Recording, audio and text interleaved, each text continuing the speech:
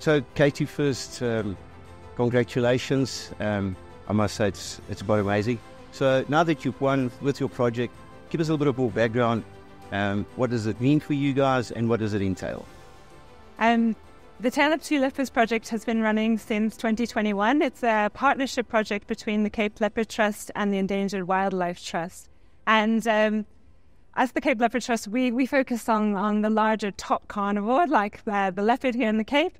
And uh, we really wanted to take a very holistic approach towards conservation. So we partnered up with EWT's Threatened Amphibian program.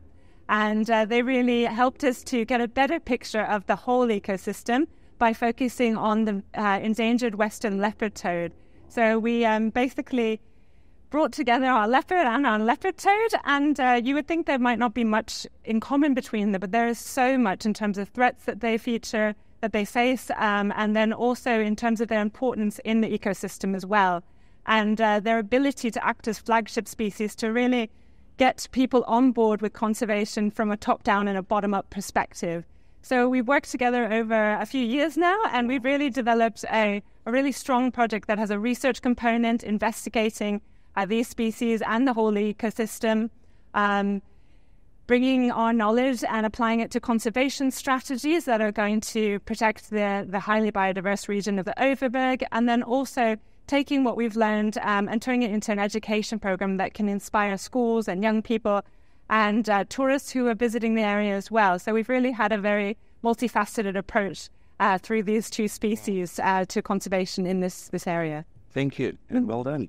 Um, so, Mike, why did you get involved with this award, and how come this category? What what inspires you about it? Thank you very much. Um, actually, also being our centenary year, being 100 years in um, South Africa, you know, it is um, was part of our goal to get involved in this so that we can um, help to develop.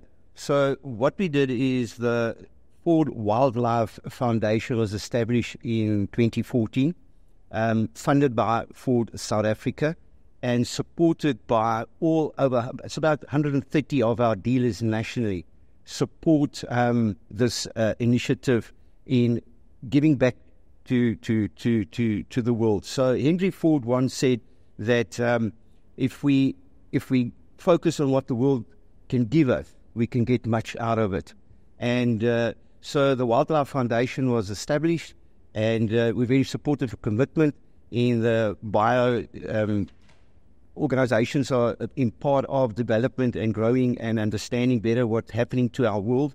And so we're supporting around about, I think, 29 um, national conservation um, projects all over South Africa, helping to educate, also to, to um, inspire young people to come forth um, with new projects. So we help them to um, assist and to grow and to get out there to, to, to bring back that knowledge and share that knowledge um, with our people. And, and then also to keep on going to, and what Henry Ford said is, you know, if we start to understand what the planet is doing, it, you know, it will keep us younger. So uh, with the Next Gen Ranger, basically with Ford, we want to go further and, and save our planet, and, and that's why we got involved. Fantastic. Well, both both the Cape Leopard Trust and uh, the Endangered Wildlife Trust are are involved with the Ford Wildlife Foundation, so we're very much in awe of the work you're doing and grateful to the support that Thank it you. has given us and and the specific project that we've actually won for as well. Thank you very much. I'm John Tarrant with the Endangered Wildlife Trust Threatened Amphibian Program, and it's really fantastic that this project Tale of Two Leopards has been recognized for this award.